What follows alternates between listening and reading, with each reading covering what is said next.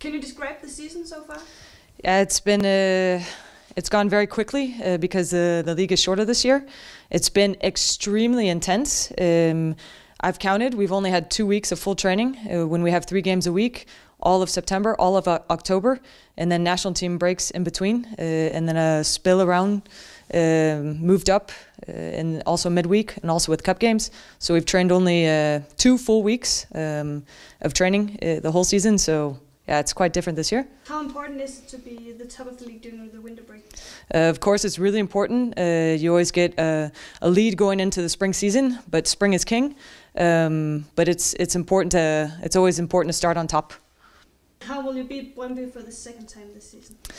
Uh, we all know that the Brøndby Fortuna game is uh, it's full of intensity. It's uh, full of power, uh, will to win.